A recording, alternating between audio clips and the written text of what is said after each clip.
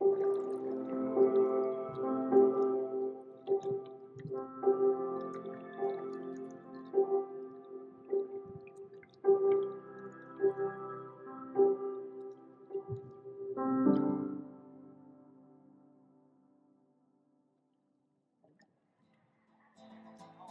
PW1 Pocket Watch Tools.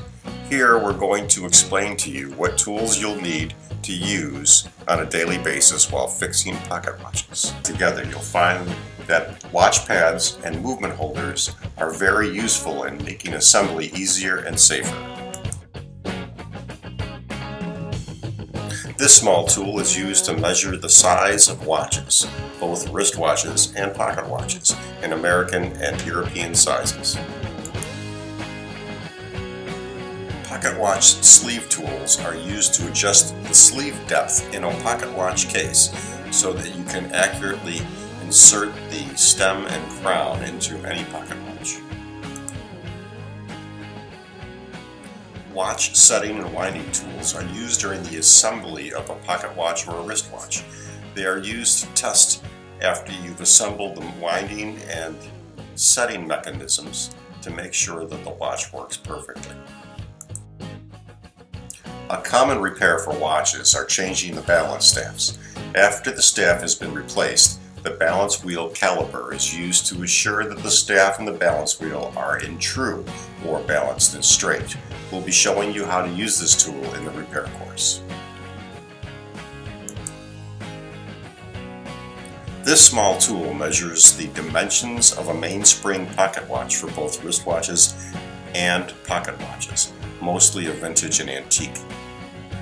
If you can find one of these tools, they do come in handy, but they are not necessary.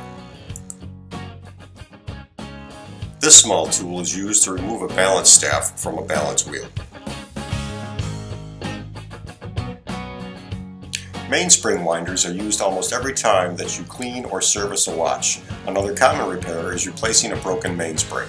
Although you might see or hear of people using their hands to place the springs into the mainspring barrel, you will want to use a good set of mainspring winders so as not to damage the spring or contaminate the spring with body oils and debris.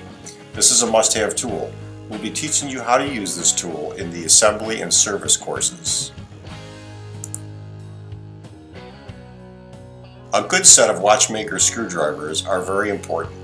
Get yourself the best set that you can afford as you will be using each of these sizes all the time. A very good set of watchmaker screwdrivers can be maintained easily and replacement blades can be purchased instead of replacing the entire driver itself at reasonable prices. The proper use of these screwdrivers will be demonstrated during all of our watch courses.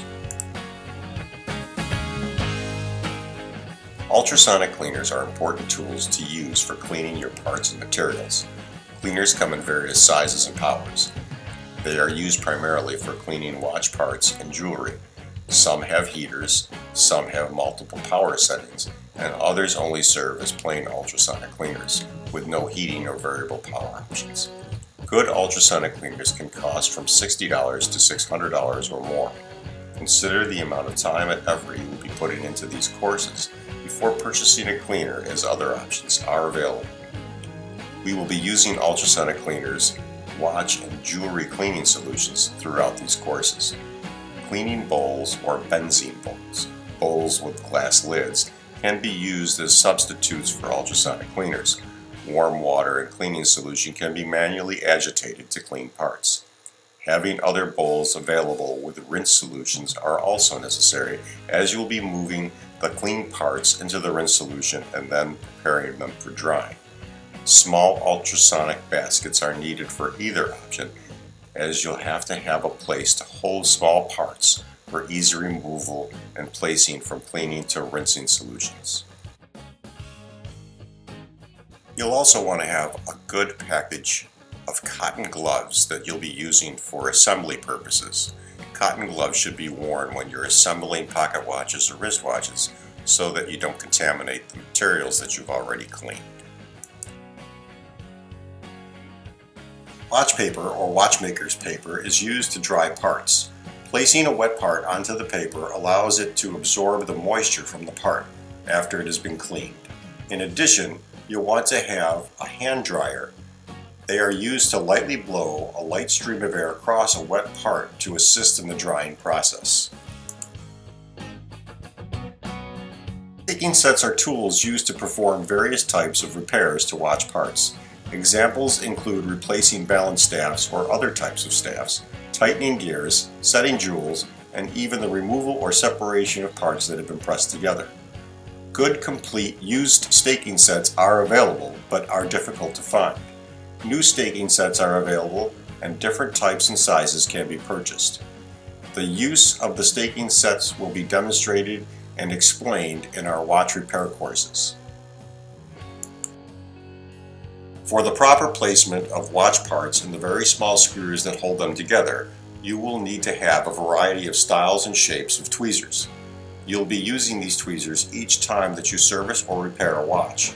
Non-magnetic tweezers are preferred as that they will not allow magnetization of the watch that you are repairing.